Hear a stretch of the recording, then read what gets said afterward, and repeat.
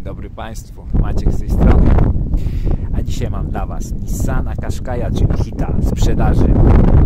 Nawet do tej pory te samochody sprzedają się bardzo dobrze. One w sumie zapoczątkowały taką modę na trochę mniejsze suwy, no bo wcześniej wiadomo było jakieś X5 i tego typu jakieś Toyoty, Tundry, pierdoły. Ale to spopularyzowało segment mniejszych suwów w Europie. A tutaj mamy bardzo fajne poszukiwaną odmianę, bo jest to dwulitrowa benzyna. Przede wszystkim nadająca się do gazu, wytrzymała, dynamiczna, a co zarazem też przy okazji, że dwulitrówka ma sześciobiegową skrzynię, więc przy jeździe na autostradzie bardzo się to sprawdza, bo 1.6 ma pięciobiegówkę, no i troszeczkę, że tak powiem, wkręca się na wysokie obroty, jest głośniejszy. Tutaj przy okazji jeszcze kolejna bardzo fajna rzecz, którą klienci uwielbiają. Auto jest od pierwszej właścicielki od nowości i całe jest w oryginalnym lakierze, co bardzo rzadko się zdarza. Auto jest z 2008 roku i ma ile lat? 15 na szybko licząc. Przebiegu jest 242 tysiące, czyli rocznie wychodzi 16 15 tysięcy.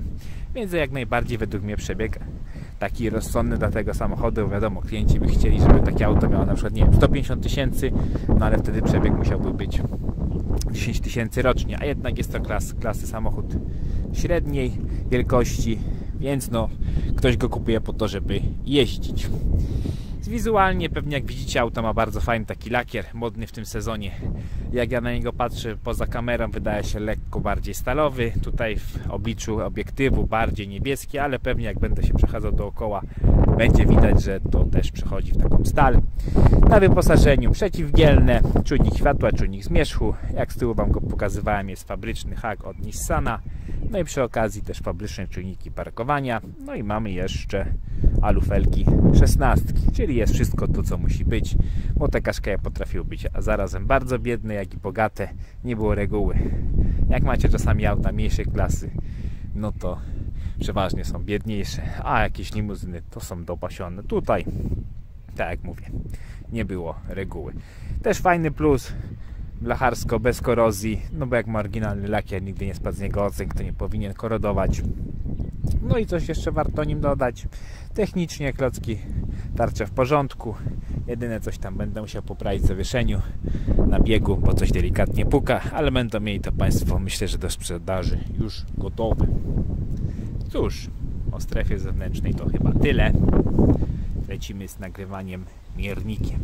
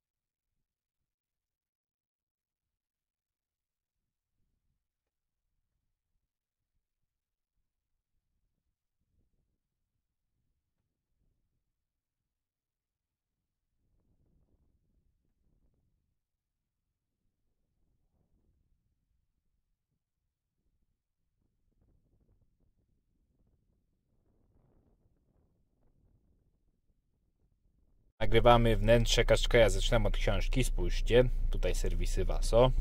Dosyć długo. No i tutaj chyba jest ostatni przy 113.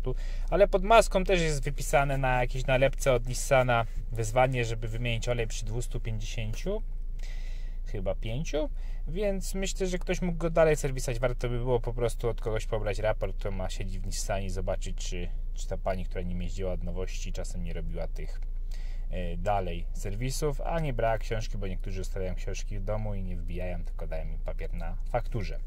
A na potwierdzenie przeglądów, znaczy na potwierdzenie przebiegu jeszcze mam cztery przeglądy. Spójrzcie, tutaj przegląd e, z 2015 roku. E, nie widzę tutaj nigdzie kilometrów, a tutaj macie 113. Proszę bardzo, następny z 19 roku 151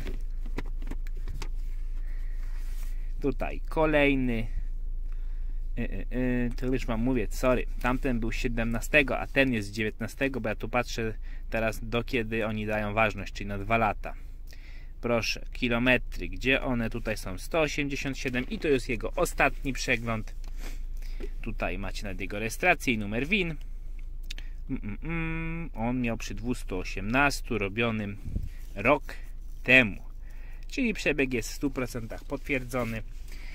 I to, to się nie musicie jak najbardziej martwić. Teraz sobie przejdziemy do wnętrza, bo ja tylko schowam to do schowka, żeby nam tutaj nie przeszkadzało. W filmach, które miałem te kaszkaje, no kaszkaj ma wiele zalet, ale wytrzymałość wnętrza nie jest zbyt luksusowa. A o dziwo to jest jeszcze całe, bo z tego bardzo też często schodzi taka guma jak w Volkswagenach. Tutaj przyciski wyglądają dobrze. Klamka srebrna w standardzie. No i takie nawiewy jak w renówkach, no bo oni chyba mają współpracę lub mieli w tamtych czasach na pewno. Tutaj dalej Wam nie powiedziałem, że mamy jeszcze składane lustereczka. Proszę bardzo, naciskamy sobie przycisk. Nam się ładnie złożyło. No i oczywiście tak samo tym następnym rozkładamy. No i tutaj też jest regulacja tych lustereczek. No i tu Wam nie pokazałem jeszcze, że mają takie śmieszne otwieranie e, w lewo od paliwa obok maski. Można się czasami pomylić i przez przypadek otworzyć też maskę, co nie jest dobrym pomysłem. Dalej przechodzimy sobie na licznik, widzicie ile kilometrów, nie ma żadnych błędów, oczywiście też jest komputer na środku sobie miga, bardzo ładnie tutaj to wkomponowali w takie małe miejsce, wszystkie informacje tutaj mamy. Dalej, tutaj sobie można zmienić jego spalanie, nawet bardzo niskie, średnia prędkość, takie rzeczy, czas jazdy. Tutaj macie przyciski na kierownicy, oczywiście też regulacje radia, no i regulację tempomatu. Tutaj włącznik do automatycznych świateł, tak jak Wam wczoraj mówiłem, i również automatycznych wycieraczek. Chyba o zegarach powiedziałem, to wszystko kierownica. Kierownica, tak jak wspominałem, kaszkaja jakoś śmiesznie. Ona była ze skóry, ale czymś jeszcze powlekanym. Czasami to powlekanie lekko schodzi. Tutaj jest przy tym przebiegu normalka, że tak to wygląda, ale nie źle potrafi przy 200 być skóra przetarta do zera. Radio to lepsze z Bluetooth, możecie sobie podłączyć telefon, rozmawiać. Tu macie mikrofon. Proszę bardzo. No i oczywiście jest sprawna dwustrefowa klimatyzacja. To tak jak wspominałem, nie wszystkie to miały. Działa, można sobie dla jednego pasażera stawić tyle, dla drugiego tyle. Tutaj przyciski, gniazdo na zapalniczkę, sześciobiegowa skrzynia biegów, mieszek cały, deseczka też również. Ta pizzerka dobrze utrzymana, nie jest zajechana, przecierana. Z tyłu macie jeszcze Isofix, tu miejsce na dwa kubeczki i duży pojemny schowek. I tutaj wygodnie, bo to jest zrobione ze skóry, fajnie się na tym trzyma łokieć, nie boli. Dalej jeszcze Wam pokażę mój boczek. Boczek też jest o dziwo cały, przeważnie tutaj to już jest przetarte. Tutaj jeszcze się utrzymało dość dobrze. Cóż, chyba o wnętrzu pojazdu to tyle. No, jeżeli filmik Wam się podobał, zostawcie łapkę w górę i zasubskrybujcie sobie kanał. Jeżeli macie jakieś pytania, napiszcie komentarz lub też maila. No i pamiętajcie, u mnie każde auto jest opłacone. Możecie kupić sobie gwarancję do roku czasu. I jeżeli nie macie auta, jak dostarczyć do domu w rozsądnych pieniądzach, dowożę go na lawecie lub też mogę go na siebie zarejestrować. No i pamiętajcie, że też możecie oczywiście zostawić auto w rozliczeniu. Jeżeli interesują Was inne samochody, wbijcie na moją stronę na automoto, mawkarotomoto.pl i lub też na moje media społecznościowe, gdzie tam wrzucam różne inne rzeczy. To jest to Mawkar Auta na Instagramie lub Facebooku. Pozdrawiam, cześć!